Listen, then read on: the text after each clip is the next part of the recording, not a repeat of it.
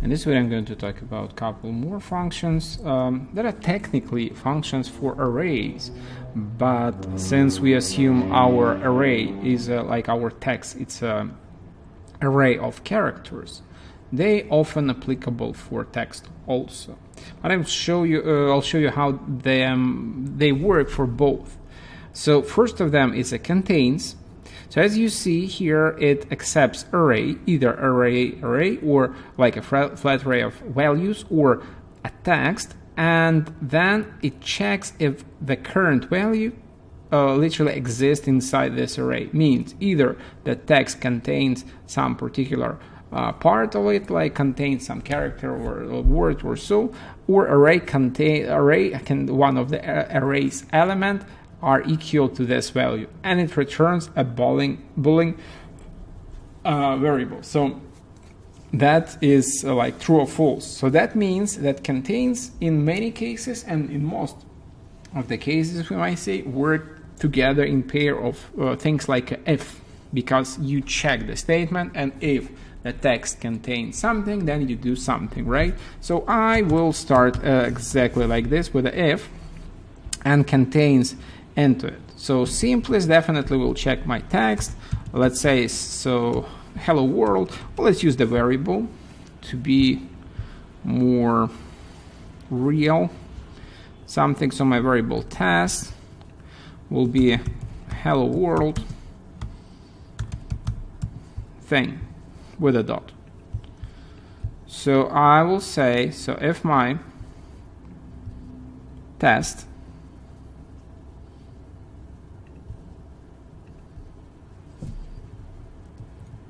contains. And my argument here will be hello. Then and I have the if statement uh, then I will say good right? So if it says uh, if it has uh, hello I will have a good in output. So that's what we've got. So once again my text is hello world it contains hello exactly as it is right? So if I will just change it to lowercase my output will be nothing. Just because uh, it uses exact match right? If and if the particular thing like hello with a space for example because we have hello and space exist then I will have true here as my if statement condition and I will have the positive statement of if. Because if I break it we'll do something like two spaces which I don't have. Because I have hello space and another word.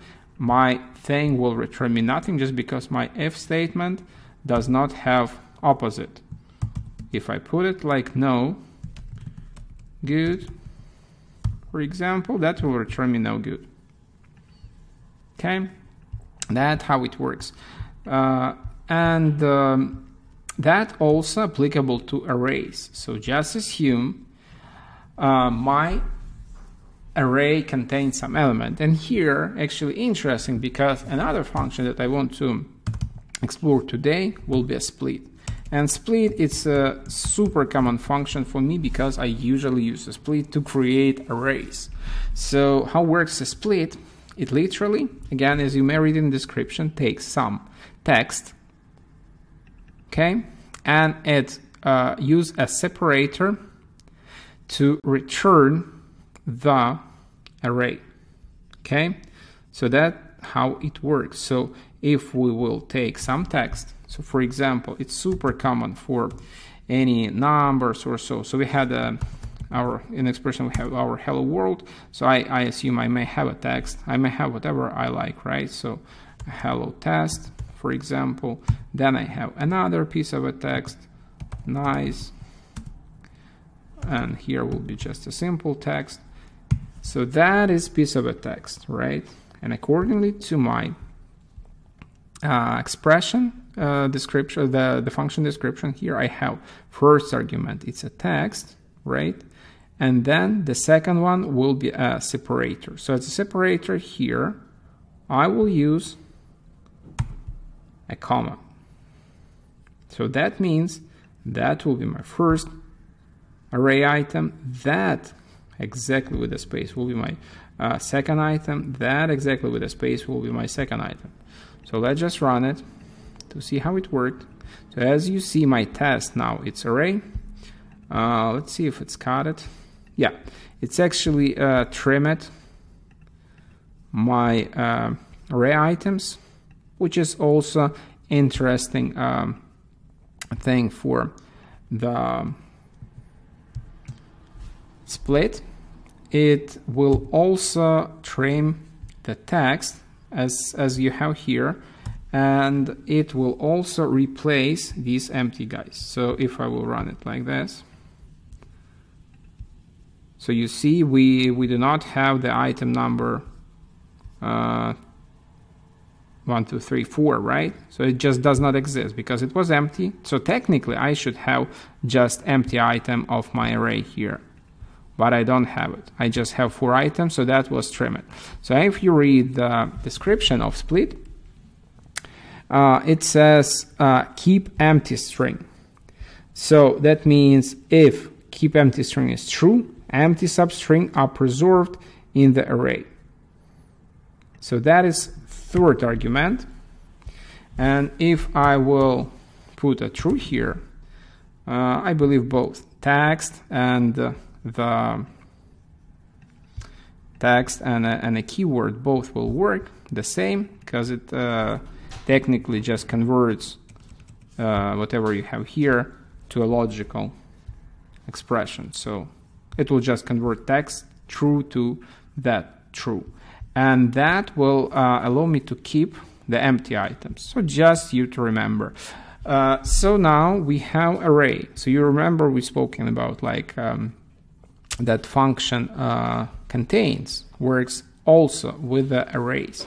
So right now my test is array of some elements and one of the elements which is hello text uh, hello test. In this case I might just put something else let's say some number in front to like kind of confuse it a bit right? So we say not the first one. And it's hello with a space okay? So you see it's exactly hello with a space. So now my variable should show me something else. Yeah it shows like 20 second 22 something like a first item in uh, that array right uh, so now we will try this and we will see how our contains works with the array not a text but array because this is array with several items in it. And if it will match this one. So technically we will match uh, not to a text string right? But we will match to array. So to pass this one and to get a good our array item should be exactly as the one that we have here, which is hello text. So just to be exact, always go to output and see. So that exactly matching thing. So now, according to this, we should have not good. Okay, just because we're matching uh, array items to that. And array items does not contain exactly this item. So we should have and not good here, right? But if we uh, will add exact item, just again, in comparison to a text, which is array itself, and if we will just say to, to text like, if the text hello something contains hello space, then yes. But if we say if uh, array items like not array items, but array. Does array contains hello space? No, it doesn't contain hello space, but it contains hello space test. And that's exactly what we're testing here. So now we should have a good because one of the items of our array exactly matches to something that we test. So these these guys how works these two contains and a split and you also uh, saw that uh, definitely contains in many, many cases. Uh, you may combine it with a switch, you may combine it with a if. So that's uh, logical, right? So if the thing returns us a boolean, so we have to use it either in filter or in function somewhere else. So just uh, have that